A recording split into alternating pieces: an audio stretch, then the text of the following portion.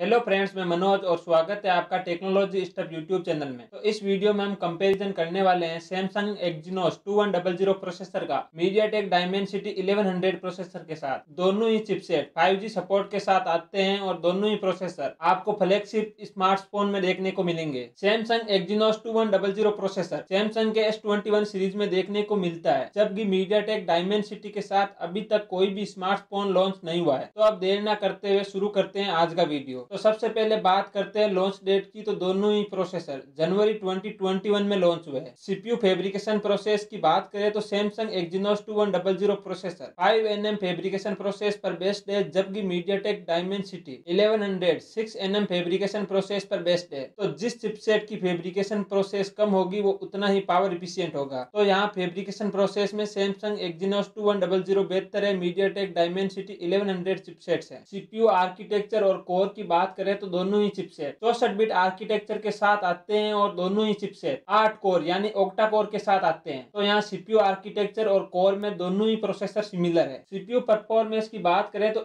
Exynos two one double zero में। One plus three plus four core के साथ try cluster architecture दिया गया है, जिसमें अल्ट्रा कोर दी गई है हाई परफॉर्मेंस के लिए, जो आती है latest A R M cortex X one के साथ, जो clocked two point nine पर। और तीन परफॉर्मेंस कोर दिए गए A R M cortex A seventy eight के साथ। जो क्लॉक डेट 2.8 गीगाहर्ट्ज पर साथ ही चार पावर इफिशियंट स्कोर दिए गए हैं A R M cortex A fifty के साथ, जो क्लॉक डेट 2.2 गीगाहर्ट्ज पर, जबकि डायमेंसिटी 1100 में फोर प्लस फोर कोर के साथ ड्यूल क्लस्टर आर्किटेक्चर दिया गया है, जिसमें चार परफॉर्मेंस कोर आते हैं A R M cortex A seventy के साथ, जो क्लॉक डेट 2.6 गीगाहर्ट्ज पर, साथ ही चार पावर इफिशिएंट स्कोर आते हैं A R M cortex A fifty के साथ, जो क्लॉक डेट टू गीगाहर्ट्ज पर। तो यहाँ सीपीयू परफॉर्मेंस में Exynos two one double chipset superior है डायमेंसिटी 1100 से। क्योंकि ये latest A R M cortex X one high performance core के साथ आता है और साथ ही में जो cortex A seventy seven performance core दिया गया है, उसकी क्लॉक स्पीड भी आठ परसेंट बेहतर है डायमेंसिटी 1100 से। तो यहाँ क्लियरली सीपीयू परफॉर्मेंस में Exynos two one double zero बेहतर है। जीपीयू या ग्राफिक्स प्रोसेस यूनिट की बात करें तो Exynos two one double zero chipset आता है latest A R M Mali G seventy eight GPU के साथ, जो फोर्टीन कोर के साथ आता है। जबकि डायमेंसिटी इलेवन हंड्रेड चिपसेट आता है last generation A R M Mali G seventy seven GPU के साथ, जो आता है नाइन कोर के साथ. जीपीयू क्लॉक स्पीड की बात करें तो दोनों ही प्रोसेसर में. जीपीयू को कितनी फ्रीक्वेंसी पर क्लॉक किया गया है, ये मेंशन नहीं किया गया है. तो परफॉर्मेंस की बात करें तो Exynos two one double zero में जो जीपीयू दिया गया है, वो लेटेस्ट जीपीयू है. जबकि डायमेंसिटी इलेवन हंड्रेड में वही जीपीयू दिया गया है, जो डायमेंसिटी वन थाउज़ेंड प्लस में दिया गया था. साथ ही जीपीयू स्कोर की बात करें तो Exynos two one double zero के जीपीयू को एन टू टू पर दो लाख पिछहत्तर हज़ार पॉइंट मिले हैं. जबकि डायमेंसिटी इलेवन हंड्रेड को दो लाख दस हज़ार पॉइंट मिल हैं। तो जीपीयू परफॉर्मेंस में clearly Samsung Exynos two one double zero winner है। रैम और स्टोरेज सपोर्ट की बात करें तो दोनों ही चिप से सोलह जीबी तक की क्वार चैनल रैम को सपोर्ट करते हैं। Exynos two one double zero सत्ताईस सौ पचास मेगा तक की फ्रीक्वेंसी की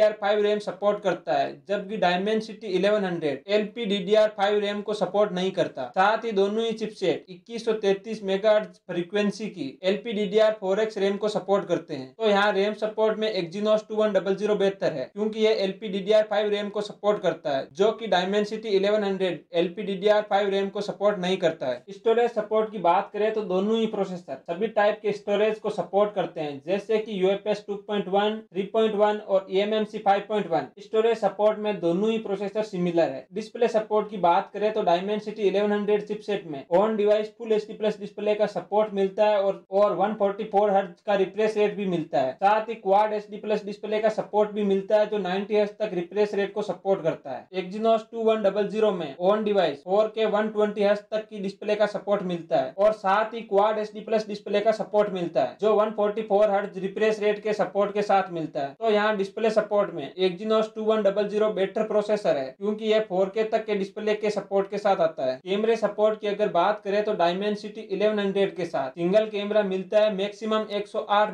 मेगापिक्सल तक का। और अगर डुअल कैमरे सपोर्ट की बात करें तो 32 प्लस 16 मेगापिक्सल तक ड्यूअल कैमरा सेटअप मिल सकता है। एक Exynos two one double zero की अगर बात करें तो 200 मेगापिक्सल तक सिंगल कैमरा मिल सकता है। और 32 प्लस 32 मेगापिक्सल का यहाँ पर ड्यूअल कैमरा सेटअप भी मिलता है। अगर कैमरे सपोर्ट में ओवरऑल देखा जाए तो यहाँ पर एक्जिनोस टू बेटर चिपसेट है। वीडियो कैप्चर रिजोल्यूशन की अगर बात की जाए तो Exynos two one double zero के साथ आपको maximum eight K video recording का ऑप्शन मिलता है, जो तैयलीस पिक्सल वाले वाले 8 के अल्ट्रा एच वीडियो 60 एफ़ पर और 2160 पिक्सल वाले 4 के अल्ट्रा एच वीडियो रिकॉर्ड कर सकता है 120 एफ़ तक। डायमेंसिटी 1100 की अगर बात करें तो इसके साथ मैक्सिमम 4K तक डिस्प्ले रिकॉर्डिंग का ऑप्शन मिलता है, जो 2160 पिक्सल वाले 4K ultra H video record कर सकता है 60 एफ़ पर और 1080 पिक्सल वाले फुल एचडी वीडियो रिकॉर्ड कर सकता है 120 एफ़ पर। वीडियो कैप्चर रिजोल्यूशन के मामले में एक्जीनोस टू बेहतर प्रोसेसर है। कनेक्टिविटी और मोडेम की बात करें तो दोनों ही प्रोसेसरों के साथ। 5G मोडेम मिलते हैं। Exynos two one double zero की बात करें तो ये इंटीग्रेटेड 5G मोडेम के साथ आता है, जो एम एम वेव बैंड को भी सपोर्ट करता है और सब सिक्स गीगाहर्ट्ज बैंड को भी सपोर्ट करता है। एम एम वेव बैंड की बात करें तो seven point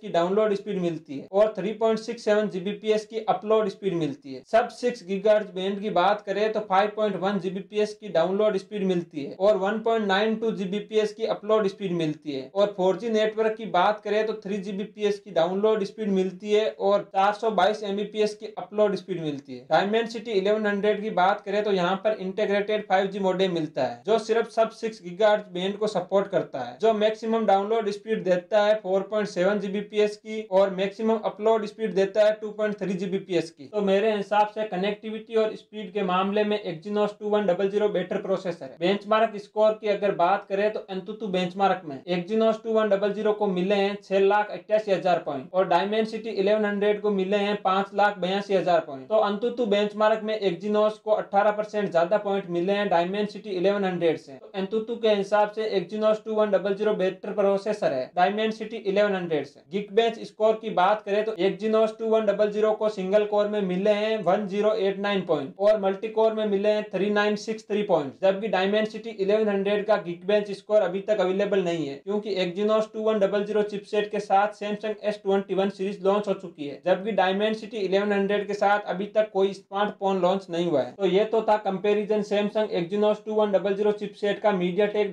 Dimensity eleven hundred chipset के साथ। सीपीयू से बात करें तो Exynos two one double zero में जो सीपीयू दिया गया है, वो क्लियरली बेहतर है, क्योंकि वहाँ पर एक्स वन कोर का यूज़ किया गया है और हायर क्लॉक स्पीड भी मिलती है। जीपीयू में भी Exynos two one double zero बेहतर है, क्योंकि इसमें ARM के लेटेस्ट जीपीयू का यूज़ किया गया है। कैमरा और वीडियो कैप्चर में भी एक्जीनोस बेहतर है, क्योंकि ये 200 मेगापिक्सल तक के कैमरे को सपोर्ट करता है और साथ ही 8K तक के वीडियो को रिकॉर्ड कर सकता है। कनेक्टिविटी में भी एक्जीनोस बेहतर है क्योंकि इसकी डाउनलोड और अपलोड स्पीड दोनों ही बेहतर है। अगर ओवरऑल परफॉर्मेंस की बात करें तो Exynos two one double zero undoubtedly बेहतर चिपसेट है, डायमेंड सिटी इलेवन हंड्रेड से जिसे एंतुतु स्कोर भी कंफर्म करता है। तो मेरे हिसाब से Exynos two one double zero इस बैटल में अल्टीमेट विनर है। अगर आपको ये वीडियो अच्छा लगा तो इसे लाइक कर देना, शेयर कर देना और साथ ही अगर आपने अभी तक इस चैनल को सब्सक्राइब नहीं किया है तो सब्सक्राइब कर देना। बेल वाले आइकन को प्रेस कीजिए और ऑल वाले ऑप्शन को सेलेक्ट कीजिए ताकि मेरे लेटेस्ट वीडियो के नोटिफिकेशन तुरंत आप तक पहुँच जाए, जैसे ही हम वीडियो अपलोड करते हैं। तो इस वीडियो में इतना ही। देखने के लिए धन्यवाद।